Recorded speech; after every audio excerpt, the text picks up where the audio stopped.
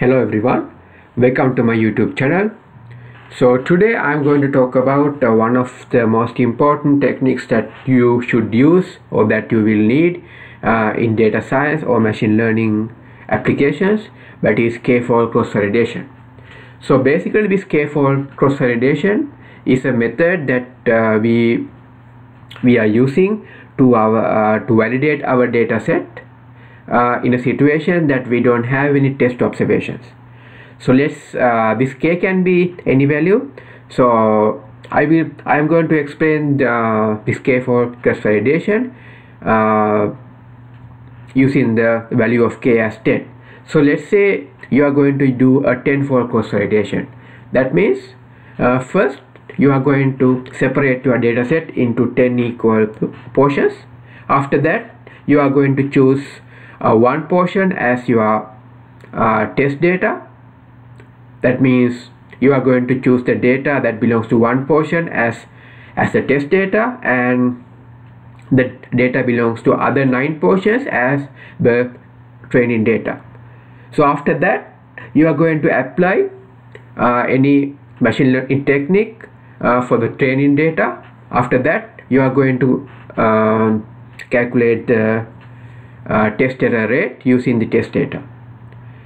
uh, after doing that you are going to repeat this for 10 times if it is 10 for cross validation so uh, so at the end of the day what you are going to do is you are going to average your test error rate by uh, simply taking the average of uh, those 10 uh, test error rates. Okay? So to do this uh, first you need to have this uh, MASS function or the MASS package because I am going to use this LDA and QDA functions. So first you need to import this MASS function to your RStudio after that I am going to use this admission uh, text file. I'm I will put the link uh, to access this data file in my video description so that you can use this data set, set uh, in later so then I'm going to use this str function uh, to just check uh, the uh, how the data looks like. So here uh, my main concentration is about these first three uh, variables GPA, GMAT and group. Uh, since I'm going to fit LDA and QDA my response variable should be a categorical variable. So my plan is to put this group as my categorical uh, my response variable and GPA and GMAT as my predictor variables. But here you can see this group uh, is defined as an integer variable. So now I'm going uh, I need to convert this group to a categorical variable.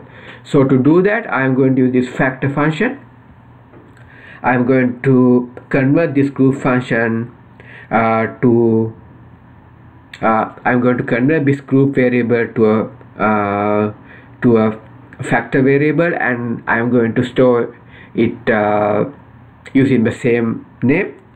So in order to do that I'm going to run this code. So now if you run this str uh, admission fun, uh, code now you will see now uh, the variable uh, variable type of group has changed to factor. It has three levels 1 2 and 3 okay?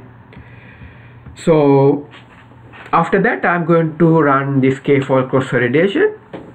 So as I told you earlier I'm going to run test uh, 10 fold cross validation. So to do that uh, first I need to uh, separate my data set into 10 equal portions to, to do that I'm going to use this cut function where I'm going to break this sequence uh, from 1 to number of rows in this data file into k equal portions using uh, this cut function. I'm going to name that uh, new variable as folds.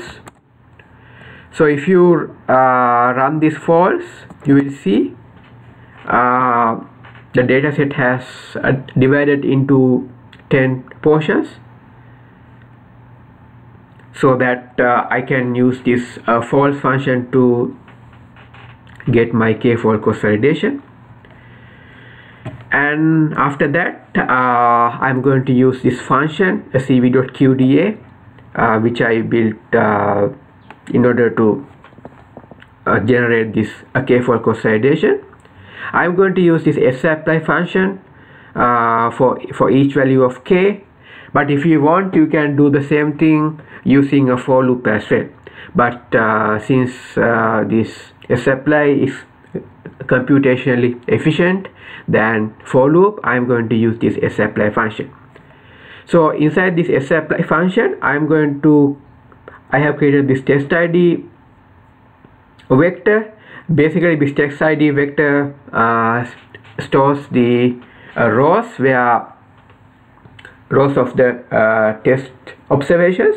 So to do that I am going to use this which function.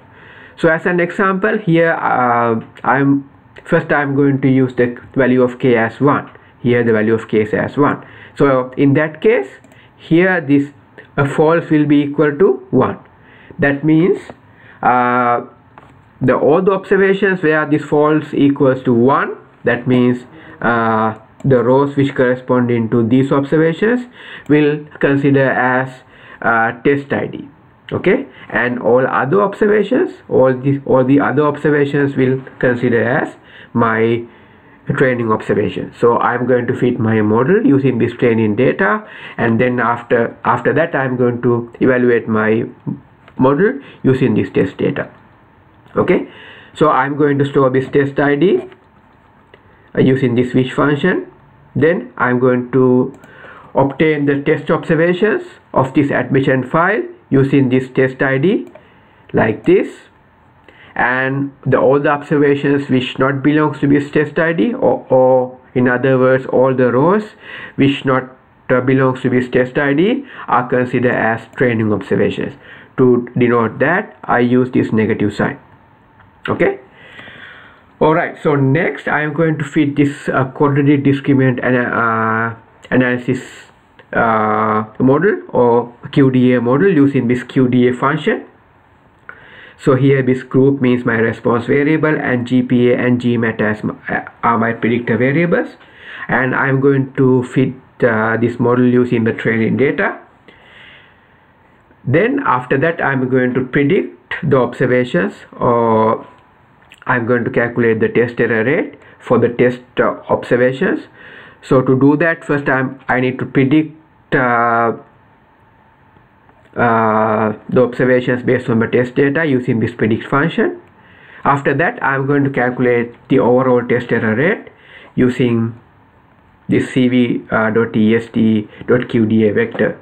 So here basically what I'm going to do is I'm going to denote whether uh, uh, whether this QDA has correctly classified a test observation or not. Then after that I'm going to take the average okay? So this step these uh, steps you can repeat it repeat for k times.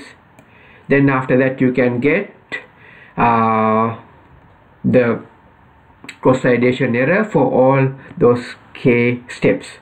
Since here my k value is 10 I will get uh, test error rates uh, of 10 times okay? So if I run this code and if you see this cv.qda over here you will see there are 10 test error rates because I'm I have run um, the 10 fold cross validation so to get an estimate of this test error rate, I am going to calculate the average of this all uh, test error rate. To, to find the average, I am going to use this mean function. So the average is 0 0.0597. Okay.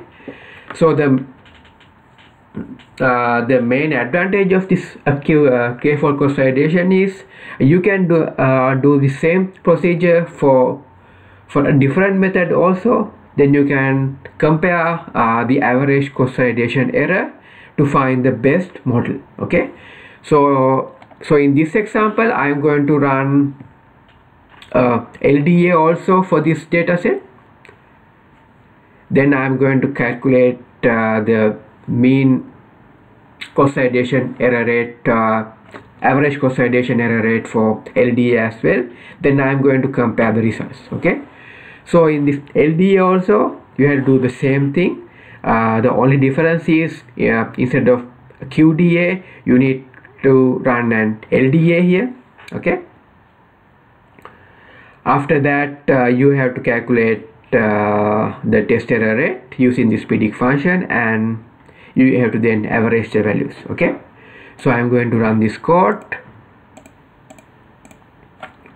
and then I'm going to calculate the average cross validation error rate which is equal to 0.1306 so now you can see uh, the average cross validation error rate for QDA is smaller compared to average cross validation error rate that you obtain for LDA so based on this uh, k-fold cross validation or using this tenfold cross validation you can say that QDA is a best method uh, for this data set. Okay alright so that is it for k-fold cross so if you think this video is uh, useful to you uh, please put a like on my video. And if you want to see more videos like this in future please subscribe to my youtube channel. Thank you